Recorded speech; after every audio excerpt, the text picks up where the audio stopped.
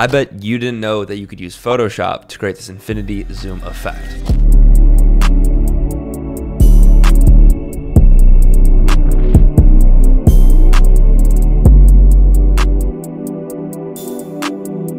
I mean, look at the glow around the planet, the details in the stars and the galaxies in the sky, and whatever this photo came out to be. Now, what if I were to tell you that that was all done using AI? Well, you better believe me because I don't know how I'd get that photo otherwise. To get started, you're gonna need a shot on a tripod like this or like this. Make sure your subject is close to the center and there's nothing entering or leaving the frame around the borders. So now that you have your clip selected, take a screenshot of that and open it up in the beta version of Photoshop. To get the beta version installed, open up the Adobe Creative Cloud app, go to apps, beta apps, and then click install. While you're waiting for it to install, be sure to like the video and be subscribed to the channel. That way you don't miss more effects like this. Inside of Photoshop, go to the crop tool and make sure the toolbar says original ratio. That way the canvas stays the same ratio as the video you're actually editing. While selected on the crop tool, you can go to the top and actually turn off the generative expand option. I've just been expanding the canvas using the default crop tool. That way I can select specific parts of the canvas and get a bit more control of what I'm actually creating. When you're scaling up the canvas, just make sure to keep the image in the center. You can tell if your image is in the center because Photoshop will kind of like snap it into place if it's close. I like to take a bit more control of what I'm actually creating. So instead of just highlighting all the checkerboarded areas, I'll select something that represents more of the sky and then I'll type in like northern lights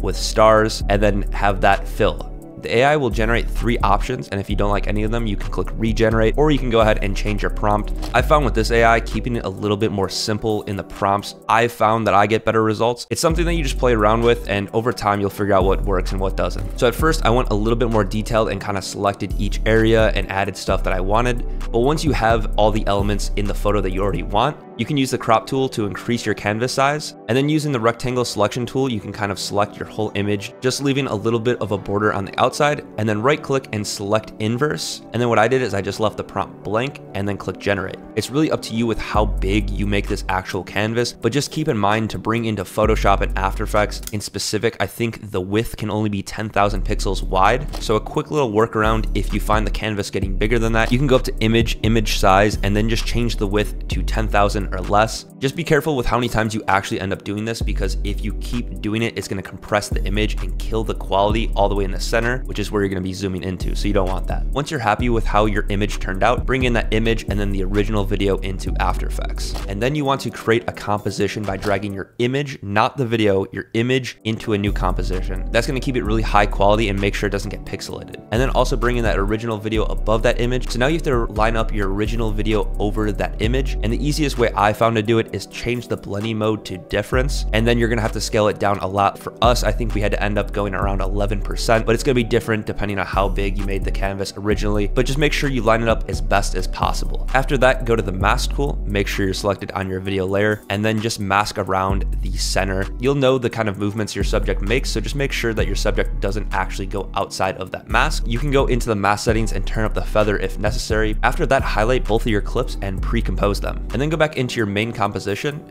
go to composition settings, and then change the resolution to whatever the original video resolution was. And then you'll notice it probably scaled in a little bit, so go to the transform options, bring your playhead to that first frame, change the starting value so it's all the way zoomed out. I went ahead and added a little bit of rotation and also made sure that our subject was in the dead center by turning on the proportional grids. And then go near the end of the composition, scale in to however much you want, reset the rotation, change the position so your subject is dead center, and then just make sure to easy ease those keyframes. Also, since I started off with a little bit of rotation and there was those black edges, I just added on motion tile, changed the output width and height to 200 each, and then made sure to mirror the edges.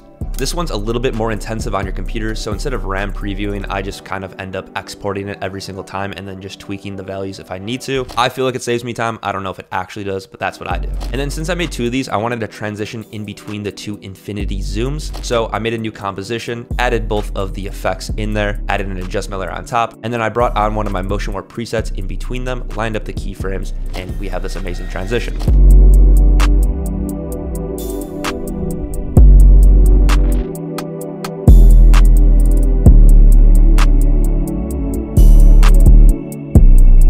You guys are looking for editing assets, I'll have my website linked down below, as well as the motion warp presets that I just used there. I feel like they're perfect for this style of effect, but that's all I got for you guys in this one. Peace.